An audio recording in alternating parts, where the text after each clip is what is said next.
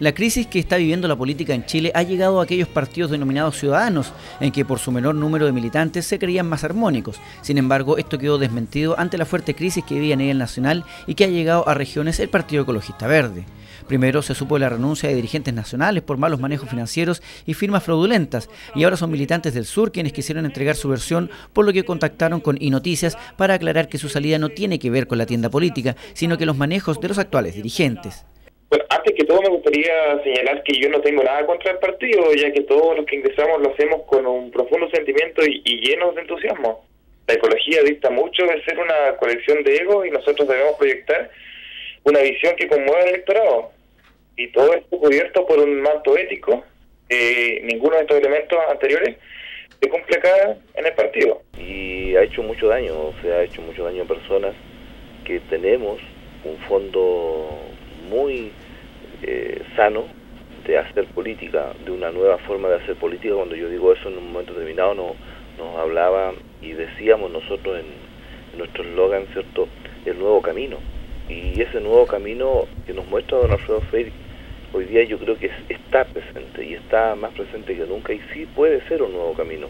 La transparencia y respeto a las personas es lo que debe primar en una colectividad como esta. Por ello, los ex dirigentes han dado un paso al costado. Creemos y sabemos, además, que podemos cambiar el mundo. Yo soy convencido que puedo cambiar el mundo y que podemos hacerlo, pero haciendo las cosas bien, con las manos limpias, en forma transparente. Eh, yo creo que estoy y que estamos haciendo lo correcto. Nosotros no podemos seguir entrampados en, este tipo de políticas eh, porque si pensamos que nosotros vamos a ser los representantes de, un cierto electorado, no podemos eh, dar nosotros ese tipo de ejemplo.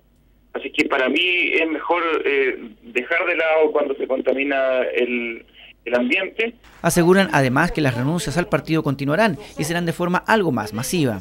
Y se viene pronto una renuncia masiva, ah, se viene una renuncia masiva de, de muchos adherentes del partido y que hoy día cierto también están dentro de, de, la, de la colectividad cierto como como parte del partido ecologista pero van a renunciar y ahí eso pronto ya lo vamos a hacer también lo vamos a hacer público a pesar de este cima que vive el Partido Ecologista Verde, los ideales y las ganas de trabajar por ellos no cambian. Mira, lo que quiero dejar en claro es que nuestros ideales continúan con vida. Yo diría que muchísimos de nosotros somos ecologistas de sentimiento, de razón y convencimiento.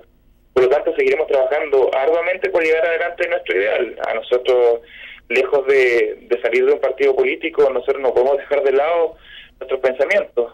Eh, somos personas, somos ciudadanos soberanos los ex dirigentes concuerdan en que el quiebre con el nivel central se produjo ante lo que calificaron como una falta de respeto hacia quien fue su candidato presidencial, Alfredo Sfeir, y el aporte que pudo haber entregado a la causa ecologista.